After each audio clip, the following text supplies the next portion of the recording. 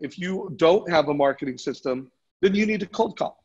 And if you do have warm leads, you need to call them. But at the end of the day, if you're not talking to realtors every single week, I don't care what you have to do and how you have to do it. There are smarter ways. There are more efficient ways of doing it. You, you just you got to do it. So if you're new to this business, you know the most important thing you can do is make sure that you're winning by noon. I'm a big fan of the win by noon planner. Yeah, Go check huge. it out, win by noon. But huge whether you use the win by noon planner or you just like buy the coffee cup or have the sticker, win by noon. And winning by noon means you talk to people. And, and so I want to make sure that takeaway is there. One idea I have, and I, I want to get your ideas, is I was at Jeremy's Forcier's site visit last week, and he was going through. He had like 180 leads, and he was like, you know, tracks every one of them. Uh, you know, he was looking at the sources, and he's like, something I've been doing a lot recently is getting referrals from my past customers. Excuse me, not my past customers, my active customers. So I'm going to show the interview on my um, slides right now. And, and guys, you guys, I'm going to put a link to this interview.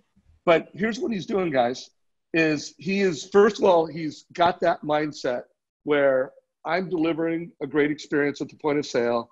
I'm giving them a total cost analysis. They trust me and they like me. I want referrals. And i don't want to wait to close the loan to get the referral. So he's got that mindset that i am worthy of a referral right now.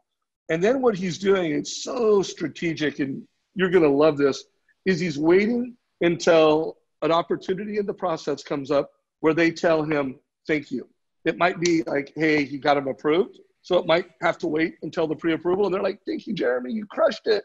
But he's waiting for that interaction in the process, in the current process.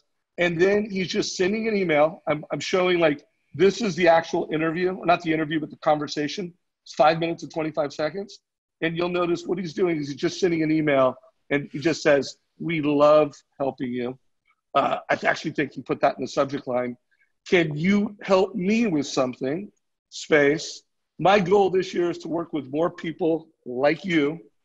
Can you introduce me to two people that you can think of in the future, you know, that are looking for my help in the future?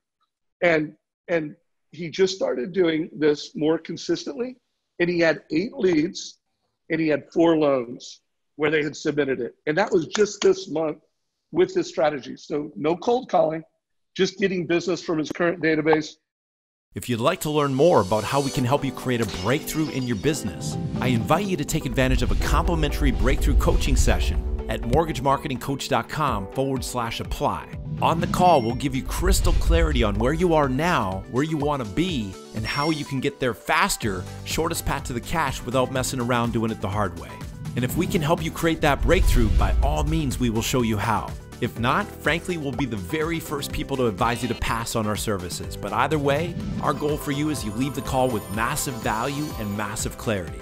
So go ahead and book a call at mortgagemarketingcoach.com forward slash apply. Again, that's mortgagemarketingcoach.com forward slash apply.